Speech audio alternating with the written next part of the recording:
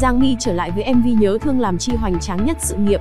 Tối 26 tháng 2, Giang My chính thức giới thiệu MV Nhớ Thương Làm Chi, xuất hiện trong hình ảnh cổ trang đầy lạ lẫm. Nhớ Thương Làm Chi là ca khúc cũng do nhạc sĩ Huỳnh Hiền Năng một trong những tác giả mắt tay của loạt bản hit V-pop chắp bút. Giang My cho rằng việc sở hữu ca khúc này là cái duyên bất ngờ bởi cô khá khó tính và cầu toàn trong việc tìm kiếm một bài hát mình thực sự ưng ý. Tuy nhiên, sau khi được nhạc sĩ cho nghe thử, cô đã lập tức mua ngay mà không hề đắn đo.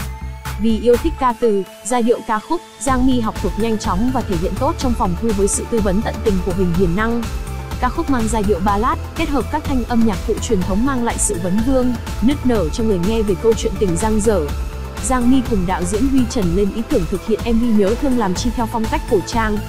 Vốn có kinh nghiệm diễn xuất, cô đảm nhiệm nhân vật nữ chính là cô gái thôn quê. Nhân vật của Giang My gặp gỡ và phải lòng chàng công tử nhà giàu, Cả hai cùng phát triển tình cảm, trao nhau tín vật định tình và hôn nhau hẹn ước dưới ánh trăng. Hạnh phúc không được bao lâu thì cả hai bị chia cắt thì chàng trai bị bố ép cưới một gia đình môn đăng hộ đối.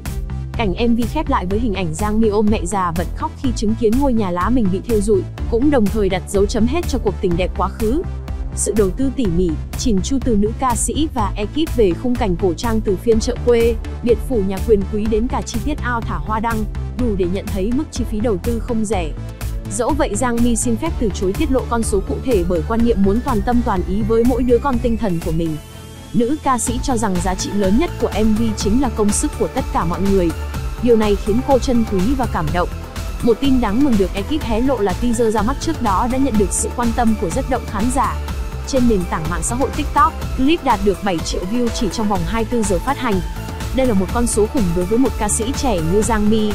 Theo nữ ca sĩ, MV được cô dự tính ra mắt sớm nhưng do ảnh hưởng của dịch Covid-19 khiến ekip quyết định rời ngày phát hành. Giang My mong muốn khán giả thấy rõ hình ảnh và màu sắc âm nhạc của cô một cách đậm nét và đa dạng hơn, thay vì bó buộc vào bolero như trước kia.